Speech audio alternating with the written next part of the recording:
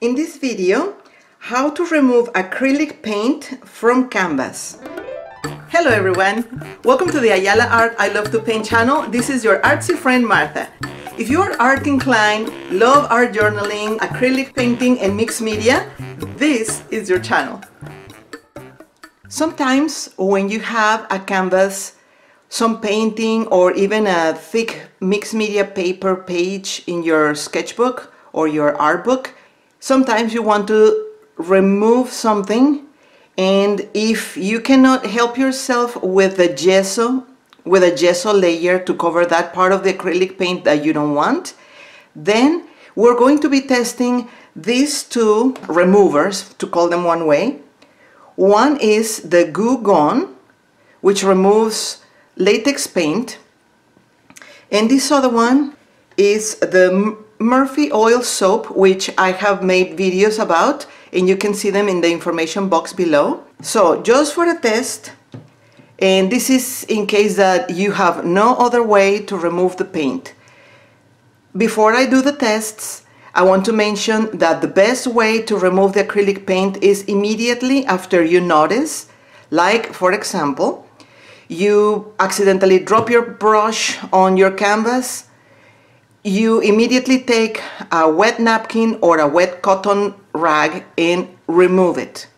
Right there and then, when it's wet, if you have already your other paint still wet, then you're gonna have to kind of deal with it more carefully, but it is the best way to move it when it is still wet.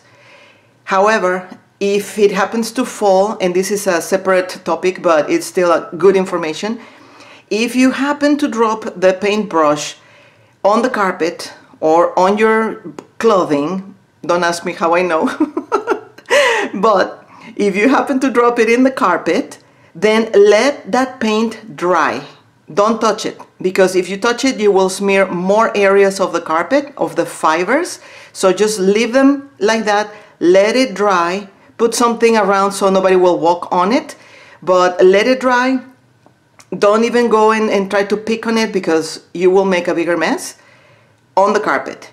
If it is on your clothes, then immediately remove your clothing, put them on the stain remover on your washer machine, and it will take care of it if you do it immediately. If you don't have the chance to do it immediately, then use the Murphy oil soap because that is really good at removing kind of fresh-ish stains.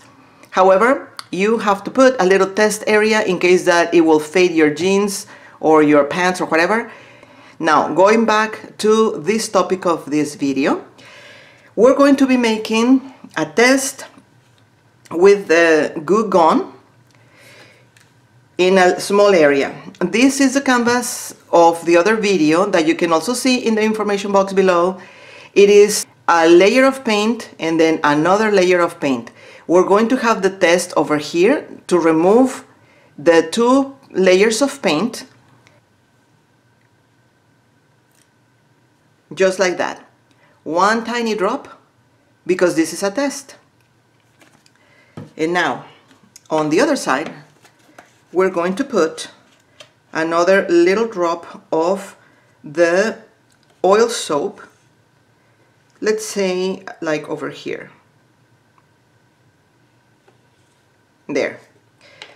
Both recommend to leave them for a few minutes or hours. So what I'm going to be doing is I'm going to just wait for this to work and um, come back in an hour and see what has been done. If I notice that nothing happened, then I will leave it overnight. Most of the time, you should not leave it too long because you never know what is going on, uh, how many layers or whatever. But if you only care on the surface layers, then we're going to be dealing with that.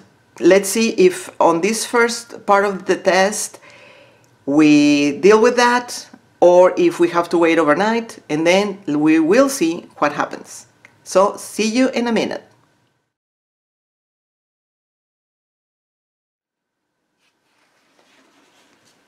It has been a couple of hours and I am going to start removing the uh, liquid or, or the material with a napkin and let's see if it removes anything. Okay, perfect. This one removed all the way to the canvas. Now this one, let's see.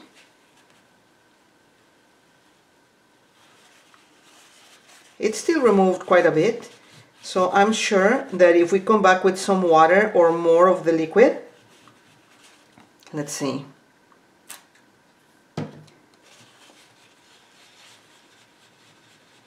Yeah, this needs a little bit more of rubbing the canvas, but it uh, removed very well. So I'm sure if we leave this overnight, especially this one over here, the, the oil soap, it will do a good job. This was a couple of hours, so it's going to work with time. Let me know in the comments what type of problem you have had and if you found a solution, let me know as well. And remember to keep your paintbrush wet.